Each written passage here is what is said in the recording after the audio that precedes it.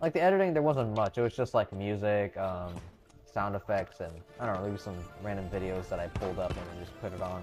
But overall, it's really fun for me to do these kind of videos. I promise. I don't do it just because, you know, just the intention of money. Overall, I am trying to get paid for the for this. But also, I want to entertain y'all. I want to make y'all happy.